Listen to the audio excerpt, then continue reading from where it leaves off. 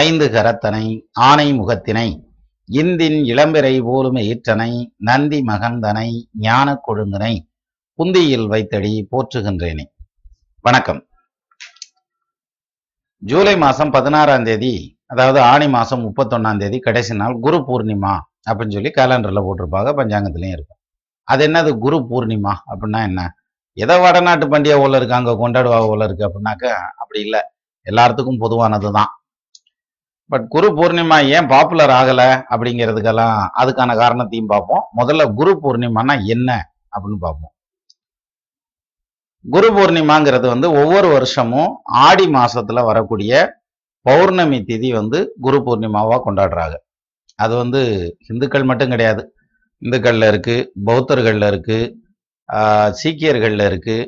இன்னும் நிறையா வழிமுறைகளில் இந்த குரு பூர்ணிமாவை கொண்டாடுறாங்க. இது வந்து வடநாட்டு பண்டிகைன்னு சொல்ல முடியாது. தமிழ்நாட்டுக்கும் உடையது தான் எப்படி எடுத்துக்கலாம் அப்படின்னா முதல் குரு பூர்ணிமான்னா என்னன்னா ஆதியில ஆஹ் இறைப்பொருள்னு வந்து ஒன்று இருந்தது.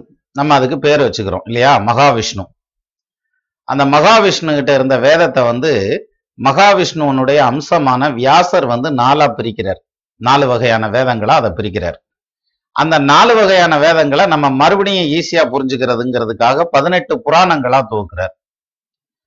அப்போ இந்த வேதங்கள்ங்கிறது வந்து அது பாட்டுக்கு இருந்ததுங்கிறத எடுத்து அதை நாலு வகையா பிரிச்சு அதை எப்படி ஓதணும்னு ஒரு சிஸ்டமேட்டிக் கொண்டு வந்து அதை மறுபடியும் விளங்க வைக்கிறதுக்காக பதினெட்டு புராணங்களா தொகுத்து அஹ், அதுக்கப்புறம் வந்து அது ஒரு ஒருத்தருக்கா சொல்லி கொடுக்க சொல்லி கொடுக்க அப்படியே கீழே வரைக்கும் வருது. இன்னைக்கு நம்ம அஹ், வேதங்களை ஓதுற வரைக்கும் வருது அப்படிங்கிற மாதிரியான ஒரு பாயிண்ட் ஒன்று அதில் அதுலதான் வழி வழியா வழி வழியா ஒரு குரு சொல்லி கொடுப்பார். அந்த சிஷ்யர் கேட்டுட்டு வருவார். அப்புறம் அவர் குருவாகி அவர் சொல்லி கொடுத்துட்டு வருவார். இப்படியே வந்து வேதங்கள் வந்து பெரும்பாலும் எழுதி வைக்கப்படாம வாய் வழியாவே வந்தது அப்படிங்கிற மாதிரியான மந்திரங்களா வந்து ஒருத்தர் சொல்லி ஒருத்தர் கேட்டு அடுத்தவர் சொல்லி அடுத்தவர் கேட்டுங்கிற மாதிரியே வந்தது அப்படிங்கிற மாதிரியான கணக்கெல்லாம் சொல்றாங்க. இப்போ இது வந்து இந்த பக்கம். இன்னொரு பக்கம் எடுத்துட்டா தட்சிணாமூர்த்தி சைவர்களை பொறுத்த வரைக்கும் எடுத்துட்டா தட்சிணாமூர்த்தி குரு பகவான். அவர் வந்து சிவபெருமானுடைய அம்சம். எப்படி மகாவிஷ்ணுவனுடைய மகாவிஷ்ணுவனுடைய அம்சம் வந்து வியாசர்னு சொல்றோமோ அது மாதிரி சிவபெருமானுடைய அம்சம் வந்து தட்சிணாமூர்த்தி. சனாதன குமரர்கள் நாலு பேருக்கு வந்து ஆஹ், அஹ், தெற்கு பார்த்து கல்லால மரத்தின் கீழே உட்காந்துட்டு யோக நிஷ்டையில மௌன மொழியில உபதேசம் பண்றார் அப்படின்னு சொல்லி சொல்றாங்க. கல்லால மரத்தின் கீழ் நால்மறை ஆரங்க முதல் கற்ற கேள்வி வல்லார்கள் நால்வருக்கும் வாக்கிறந்த பூரணமாய் மறைக்க பாராய் இருந்ததனை இருந்தபடி எடுத்து காட்டி சொல்லாமல் சொன்னவரை நினைத்து பவ தொடக்கை வெல்வாம் அப்படின்னு சொல்லி சொல்லுவாங்க குருவுக்கு. அப்படி குரு வந்து மௌன உபதேசமா சனாதன குமரர்கள் நாலு பேர்த்துக்கும் வந்து உபதேசம் பண்ணிக்கிட்டு இருக்கார். அவருடைய உபதேசங்கள் வந்து அடுத்து அடுத்து அடுத்து வழிமுறையா சங்கராச்சாரியார்கள் வழியா அப்படியே கீழே வரைக்கும் வருது. நம்ம வாழ்ற காலம் வரைக்கும் வருது அப்படிங்கிற மாதிரியான ஒரு ஐதீகம். இன்னொரு வகையில எடுத்துக்கிட்டோம்னாக்கா மகாவிஷ்ணு வந்து ஹயக்ரீவரை அவதாரம் எடுக்கிறார். அந்த ஹயக்ரீவர் அவதாரத்துல வந்து அவர் குருவா இருந்து எல்லாத்துக்கும் உபதேசம் பண்றார் அப்படின்ற மாதிரியான அமைப்புல சொல்றாங்க. இப்ப நம்ம அளவுக்கு எடுத்துக்கிட்டோம்னாக்க தமிழ் அப்படிங்கிற பாயிண்ட்ல எடுத்துட்டா முருகப்பெருமானை எடுத்துக்கலாம். ஓம்ங்கிற பிரணவ மந்திரத்தை யாரு முருகப்பெருமான் வந்து கிட்டத்தட்ட மூணு பேர்த்துக்கு சொன்னாருன்னு சொல்லுவாங்க. ஒண்ணு சிவபெருமானுக்கு சொன்னார். அதனாலதான் தகப்பன் சுவாமி அப்படின்னு வந்து பேர் வாங்கினார் அப்படின்னு சொல்லுவாங்க. அடுத்தது வந்து அகஸ்தியருக்கு சொல்றார். அப்புறம் அருணகிரிநாதருக்கு சொன்னார் அப்படின்ற மாதிரியான அமைப்புல சொல்றாங்க. அப்ப முருகப்பெருமான் வந்து அந்த பிரணவ மந்திரத்தை குருவா இருந்து உபதேசம் பண்றார் அப்படின்னு. இந்த குரு பூர்ணிமா அப்படிங்கிறது என்ன அப்படின்னா வழி வழியா வழி வழியா குரு வழியா படிச்சுக்கிட்டே வர்றோம்ல. குரு இல்லாம படிக்க முடியாது. குரு இல்லாத வித்த குருட்டு வித்தன்றான். சரியா? அப்போ அஹ், வழி வழியா படிச்சுக்கிட்டே வரக்கூடிய அந்த குரு குருவுக்கான நன்றி செலுத்தக்கூடிய நாள் அப்படிங்கிறது வந்து இப்ப நம்ம சொல்றோம்ல ஆசிரியர் தினம். அப்படின்னா ஆசிரியர்களை அந்த தினத்துல நினைச்சுக்கணும் கொண்டாடணும். ஆசிரியர்களுக்கான அந்த ஃபங்க்ஷன்லாம் நடத்தணும் ஸ்கூல்ல அப்படின்ற மாதிரியான அந்த பாயிண்ட்ல போவாங்க.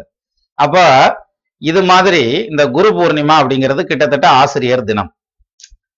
அப்ப தாம் படிச்ச குருவுக்கு நன்றி சொல்றதுக்கான ஒரு நாளா இந்த நாளை வச்சிருக்காங்க.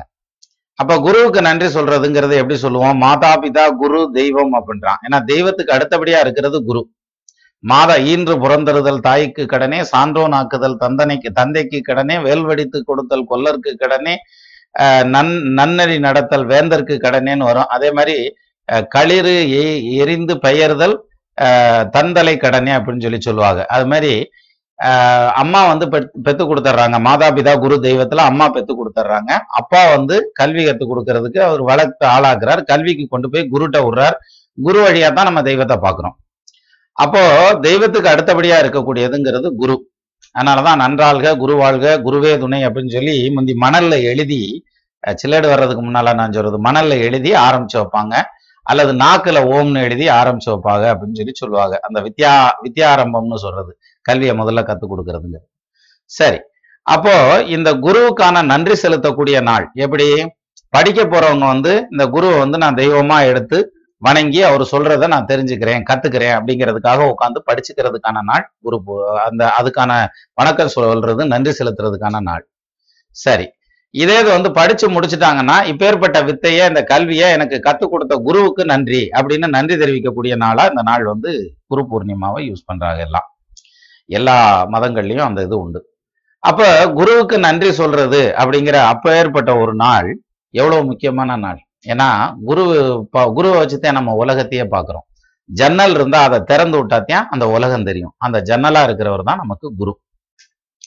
அப்போ தன்னுடைய குருவுல இருந்து அவங்க குரு அவங்க குரு அவங்க குருன்னு முன்னால முன்னாலன்னு போய் வியாசர் வரைக்கும் வழிபடுறது அப்புறம் மகாவிஷ்ணுவை வழிபடுறது.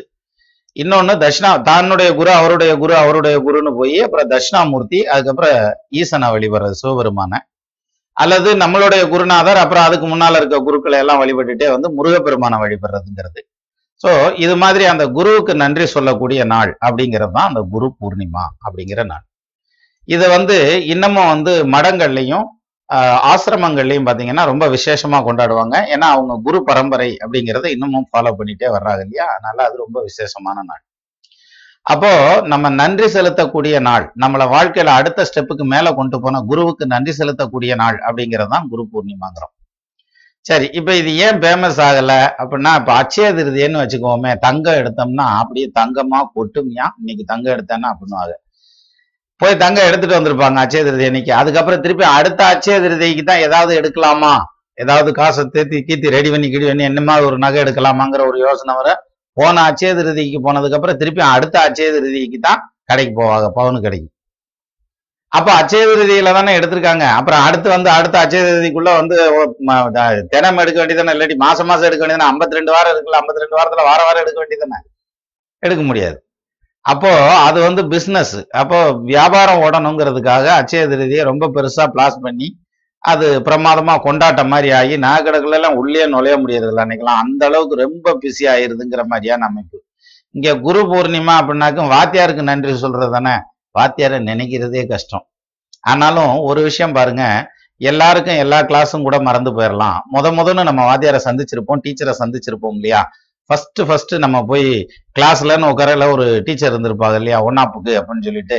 அது மறக்கவே முடியாது. ஆனா அதே மாதிரி நம்ம படிச்சு வந்த படிப்புல அது காலேஜா இருக்கட்டும் ஸ்கூலா இருக்கட்டும் அல்லது ஒரு பாலிடெக்னிக்கா இருக்கட்டும் அல்லது ஒரு ஐடி ஏதோ ஒண்ணு. நிச்சயமா ஏதோ ரெண்டு டீச்சராவது அந்த நமக்கு சொல்லிக் கொடுக்க குருக்கக்கூடிய குருமார்கள் வந்து யாராவது ரெண்டு பேராவது மனசை நல்லா பாதிச்சிருப்பாங்க.